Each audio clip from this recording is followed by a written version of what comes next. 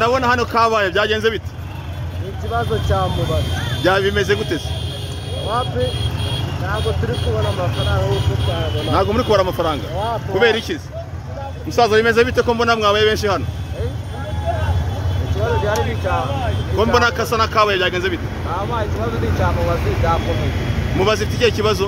Mubazi Eh, bisa nk'aho turi gukorera pe byatuyobeye nyirakazi nyine mudusobanurire bimeze bite bimeze bite dusobanurire? Umujyi ni ukuvuga ko rero turi gutwara abagenzi badufata nta mugenzi tunafite ngo ntabwo icyuma twashyizeho onorayini turimo turahomba cyane no kurakura umwatuvuganira akazi murahomba kubera iki? Turimo turahomba turishyura sorasi sorasi irahenze ya moto kurusha iyi modoka. Turishyura umusaza turishyura turasora. Twajya tugatwara umugenzi ngo dukoreshe mashini bakadukata hari n'abagenzi ntabwo bari kutwemera bari kubitwara ibihumbi mirongo itatu kandi ntabwo tuba twakoze. None se mwasanze umwanzuro wo kuza kwigaragambya gutya muri kwigaragambya? ntabwo ari cyo kibazo. Mu mujyi ntawe uri kwemera kujya abaturage abagenzi tukabashyira ahangaha mu mujyi turi kugeraho bakadufata. Barabafatira iki bari kudufata wowe ngo tudatwaye abagenzi ngo twakoresheje mashini kandi abagenzi ntabwo bari kwemera. Eh. waba unanyuze ku bapolisi noneho icyuma utagisize onorayini nabwo bakakwandika ibihumbi mirongo itatu kandi sinzi ikibazo musaza bimeze bite ko mbona wahagaze ahangaha byagenze bite? Watubwira uko bimeze? Mfite ikibazo. Ufite ikibazo? ikibazo. Yaje batwaye Eh. zino mashini izi mashini baradufata bakatwandikira kandi nk'iyi mashini yanjye reba barambwiye ngo ejo nagiye kuyikoresha ngewe inshuro eshatu zose. Banyereka gukora bakambwira ngo nigende nguraza gukora. Kandi nayatsa ikanga gukora barangiza badufata bakatwandikira wanga ko nk'ubu yanze none murasanga umutari uwuhe? Cyangwa umuti nuko batoye babitwandikiraho. Ntabwo bakwiriye kutwandikira baturenganya wowe urabyumva ute musaza? Yewe ikibazo mfite ni icy'izi mashini baduhaye. Izi mashini Eh. rura yashyizeho amafaranga ijana na- n'arindwi ku kilometero. Kandi ayo mafaranga ni make cyane nta kintu dukorera rwose. Mbere ah, hari amafaranga yari amafaranga ijana na mirongo itatu na rimwe ku kilometero kimwe. Nyuma yaho baza gushyira ku ijana n'arindwi bamaze gushyira ku ijana n'arindwi amafaranga yego moto ikuraho icumi n'ibice bitanu. N'ubundi aracyari icumi n'ibice bitanu. Kandi twebwe badushyize ku mafaranga ijana n'arindwi kandi ayo mafaranga bajya kuyagenderaho bari bayagendeyeho kuko rura yari yamaze gufata ko ikirometero kizaba ari ijana na mirongo itatu na rimwe. Ni iki wowe usaba kano kanya? Icyo nsaba ni uko izi mashini bazi- bazigumana kuko ziteranya n'abagenzi twebwe. Yego moto yaje kudushoramo imigabane kandi nta siransi tugurira nta otorizasiyo tugurira twebwe rura twaka amafaranga ya otorizasiyo tukayatanga twamara kuyatanga tukagura siransi. Twihanganiye siransi barayurije bayishyira ku ijana na mirongo inani.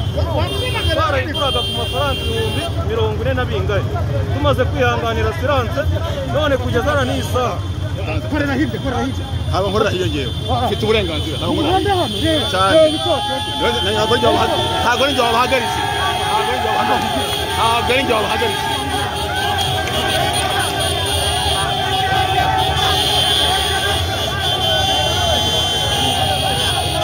ntabwo ari njye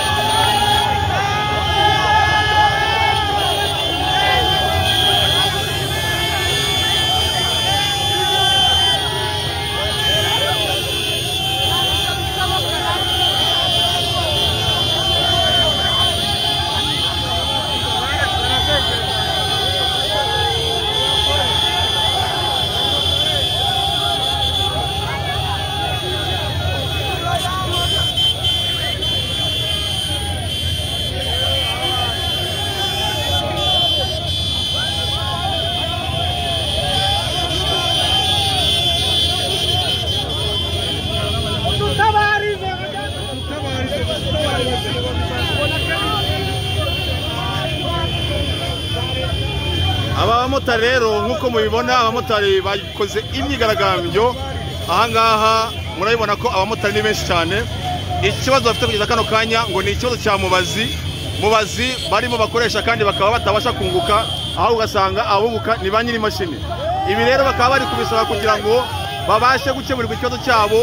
Izi mubazi ziveho cyangwa se babashe kongera gukora nk'uko bari basanzwe bakora.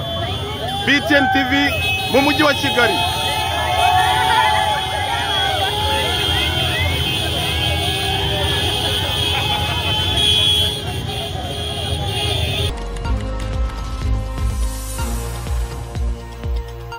Aba bakozi b'iyi sosiyete bavuga ko bimwe amafaranga yabo yewe ngo hari n'abamaze amezi umunani nta mushahara bahabwa bagatangaza ko iyo bagerageje kubaza babwirwa ko bari bufungirwe simukadi bagasaba banki nkuru y'u Rwanda na RURA kubafasha muri iki kibazo. Ndi umubyeyi mfite abana bane emutiyeni yaranyambuye nabyutse amajoro mirongo itatu igishoro ari icyanjye. Emutiyeni irangije yanga kumpemba. Barambwira ngo hari abakiriya nagiye mbikira ngo bakohereza ku makonti yabo. Kandi mu by'ukuri iryo ngenda ifata nk'ihohoterwa.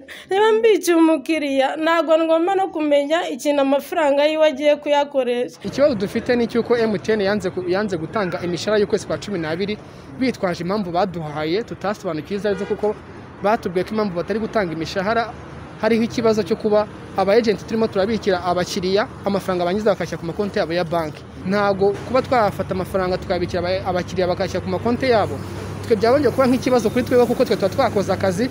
Cyane cyane ko muri iyi minsi murabizi neza ko hariho ikibazo cya korona vayirasi muri urwo rwego leta ikaba yashyizeho uburyo bwo kuba abantu batakomeza kugenda amafaranga mu ntoki. Niba ngewe nkubikiye uri umukiriya. Ntabwo ngomba kumenya ngo amafaranga ubikiye ese ugiye kuyohereza ugiye kuyohereza kuri banki ese uzayagumishaho ibyo ni uburenganzira bwawe nta n'ubwo mba ngomba kubimenya. Niba ibyo bintu byarayihombeje koko niyegere beneri yegere rura babiganireho babishakire igisubizo. Ubu tuvugana guhera mu kwa kane nta mushahara ndafata kandi ndakora buri munsi. Umugabo yaranyirukanye.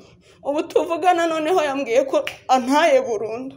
Kubera ko nta kintu nkora mwereke nta mafaranga mbona. Ndakora ariko ntibampemba. Niba uri umunyamakuru niba rwose impamvu ngewe ngize n'umugisha ungeraho ndakwinginze ugenda umvuganire hanyuma aba bana ubajyane wabarera wabagira gute bakoresha icyo ushaka njye nta bushobozi mfite. Natunguwe no kuba bigeze ku itariki esheshatu nkahabwa mesaje ngo ntabwo nzahembwa. Nimba barakinguye iyo nzira yabo ya banki bakaba ariho bari kubonera ibyo bihombo. Ntibabimenyeshe cyangwa se bagende babiganiraho nk'uko babiganiriye kugira ngo bijye gukorwa tureke kubirenganyirizwamo twebwe rubanda rugufi.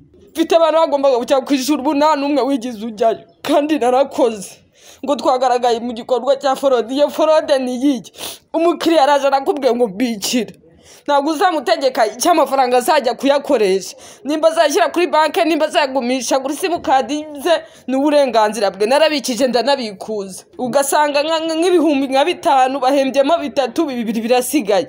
Ubu ikindi gihembwe nanone ugasanga bahembye bitatu bibiri birasigaye. Ibi bintu rwose birarenze. Bakomeza basaba kurenganurwa ngo kuko si ibya none nyamara amafaranga baba barashoye baba barayagujije bagatangaza ko babona impamvu ya byose ari ugusuzugurwa n'iyi sosiyete. Mu by'ukuri perezida ni umubyeyi ngenda mwinginze ndabatumye kuko njye sinamenya inzira zimugeraho. Ariko ndabatumye atuvuganiye muri emutiyeni kuko emutiyeni yaradukandamije kandi tuba twashatse igishoro cyacu tukajya kugicuruza ngo turebe ko tubasha gutunga imiryango.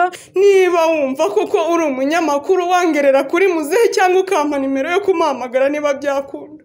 Umuhe muhamagare ngihumeka umwuka w'abazima numvaga ngo kwiyahura nkwibaza ukuntu umuntu ashobora kwiyahura. Nkumva simbyumva neza. Ariko ubu tuvugana ndashaka etaje nanjye. Mu mujyi wa kigali zirahari niyahuriremo kuko nta buzima. Ni gute ushobora gukora amezi guhera mu kwa kane?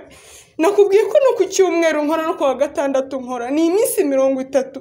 Ni uburyo bubi cyane bw'agasuzuguro no gutesha agaciro. Umu ejenti byongeye umuntu uba uhora bakorera kubera akabagera aho batagera kuko bo batubwiye ko twe turi abahagararira babo.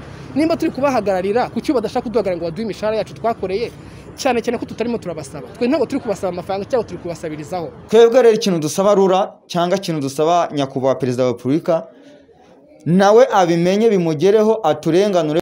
Tutakoze ntibahembwa. Cyangwa se batubwiye nimba kubitsa bitariho bidashoboka tubikuze tumenye ngo ni ukubikuza kuko umukiriya naza njye sinzongera kumubikira. Bamwe mu baturage bavuga ko batangiye kubura serivisi bari basanzwe bahabwa nyamara zabafashaga zikanabarinda kwibwa. Ko nagiye kubika kubitsa amafaranga yanjye ku bagenti barambwira ngo ntabwo bishoboka ngo kuko emutiyeni itariho kubahemba. Twebwe abakiriya ntabwo turiho kubisobanukirwa neza ariko dukurikije uko badusobanuriye twumvise harimo akarengane. Kandi natwe biratwicira serivisi zacu. Ibyo ni uburenganzira bwanjye nayashyiraho nshaka kuko ni ayanjye. Njye sinumvamo ikibazo rero aho ngaho. Urabyumva niba hari icyo nashaka gukoresha amafaranga yanjye bikaba bidashobotse ko bambikira urumva gahunda zanjye zirapfa. Ikibazo n'iminsi uri kujya uri kujyana amafaranga ku mwajenti nkakubikira akaguhakanira. Kandi byatworoherezaga urareba muri banki haba hariyo abantu benshi banki zifunga kare kandi nk'umucuruzi atari butahane amafaranga. Noneho wayabitsa kuri mobayiro mani bikakorohera kuko wahitaga uyataransifera kuri banki. None rero uri kujya ku mwajenti akanga kukubikira. Yakigirana natwe niba ari amafaranga baca twoherezaho bakongera bakabisubizaho. Ariko abajenti bakareka kubarenganya kuko niba umwajenti ari kukubwira ngo arakora ntahembwe. Kandi akora ukwezi kose ni akarengane twebwe nk'abakiriya ku ruhande rwacu nk'abakiriya turatakaza amafaranga bitari ngombwa. Nshaka gukira amafaranga bakayakwiba. Twagerageje kuvugana n'ubuyobozi bwa MTN ndetse tunabandikira ku buryo bwa email ariko ntibadusubiza kugeza ubwo twakoraga iyi nkuru ndetse na telefone zabo ngendanwa ntibazitabye. Turacyagerageza kuvugana na rura kuri iki kibazo ubwo bazagira icyo badutangariza tukazabigarukaho mu makuru yacu ataha ibarushimwe bihoye Keve Christian BTN TV i Kigali.